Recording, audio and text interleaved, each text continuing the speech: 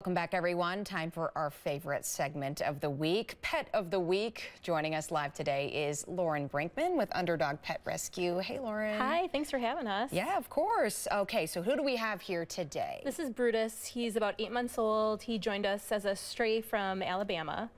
And um, he's about 80 pounds and growing, so. Um, you said eight months old? Yeah. Wow. Oh my goodness. For some reason, I was expecting him to be at least a couple years old. He's a pretty big boy. He's so um, he's so mature too. Yeah. He's really a chill dog for that age. Yeah, I was I was hearing that he's being very well behaved in the newsroom today. Okay, yes. so what type of um, house do you think that Brutus would do well in? He's been a little nervous by kids. He's been okay. appropriate, but just a little scared of them. So we sure. think maybe an adult-only home for now. Um, mm -hmm. He's been doing great with other dogs.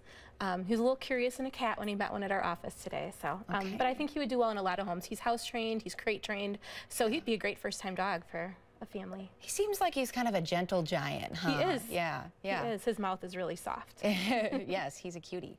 Okay, so um, if someone is interested, what is the best way to go about that? Or maybe looking at other animals too? Yeah, um, they can check out our website, underdogpetrescue.org, mm -hmm. and our applications there. Um, and if somebody applied for Brutus and it turned out not to be the right fit, we keep that application on file for other dogs too. Okay. Awesome. And I know you have some events coming up. Could you tell us a little bit about those? Yeah, we're going to be at the WJJO Golf Tournament and um, Mounds has some great customer appreciation days this weekend, so we're going to be in Fitchburg and Sun Prairie for that.